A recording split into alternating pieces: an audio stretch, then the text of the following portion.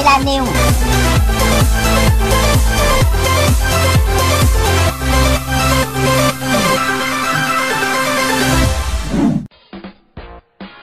เปิดตัวโครงการไปเป็นที่เรียบร้อยแล้วล่ะค่ะสำหรับคุณพิพัฒน์รัชกิจประการรัฐมนตรีว่าการกระทรวงการท่องเที่ยวและกีฬาได้เป็นประธานแถลงข่าวโครงการไทยแลนด์สตอง ว่าเล็งเห็นถึงความสำคัญของการออกกำลังกาย โดยเฉพาะสถานการณ์การแพร่ระบาดของโควิด -19 ในประเทศที่กำลังดีขึ้น แต่คนไทยก็ยังคงดำเนินชีวิตต่อไปด้วยความไม่ประมาท การออกกำลังกายในวิถีใหม่จึงเป็นสิ่งจำเป็น จึงได้มีการส่งเสริมโครงการ Thailand Strong การออกกำลังกาย แบบออนไลน์ 2 ประเภทคือ 1 การวิ่งแบบ Visual Run และการออกกำลังกายตามคลิปวิดีโอ Visual Clip ที่อยู่ภายใต้โค้ชมืออาชีพ ส่วนงานนี้อะไรจะเป็นอย่างไรไปฟังเลยดีกว่าค่ะ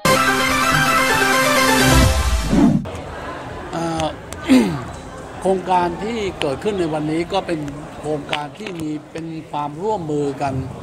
ของกระทรวงการท่องเที่ยวและกีฬานะกับ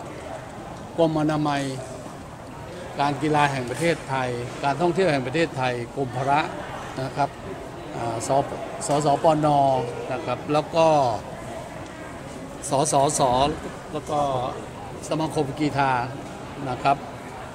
ในและ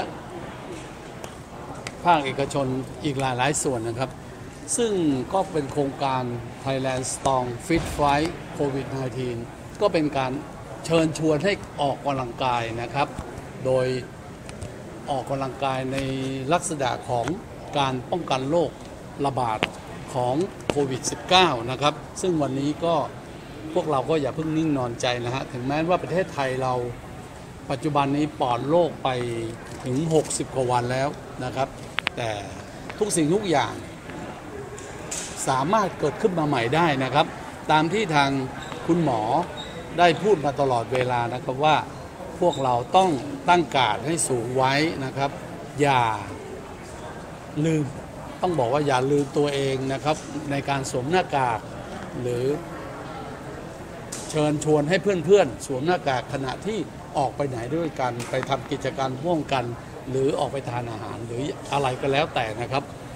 ซึ่งตรงนี้เนี่ยก็เป็นโครงการ Thailand Strong Fit Fight COVID 19นี้ก็มี 2 ลักษณะคือ virtual run กับ virtual fit ซึ่งตรงนี้ก็ทางโค้ดนะฮะก็ได้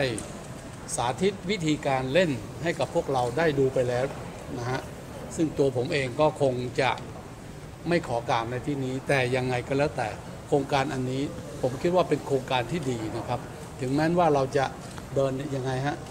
450 ล้านก้าหรือเราจะ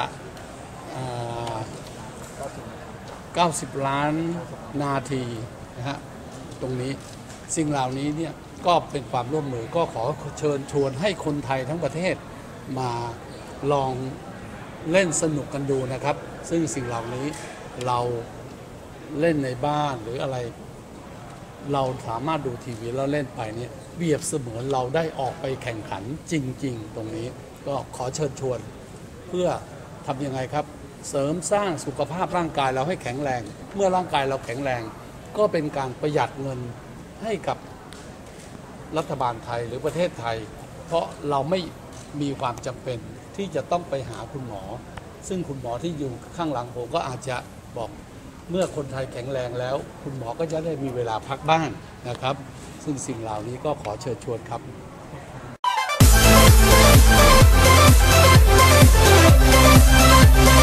ชั้นแปดไทยแลนด์นิว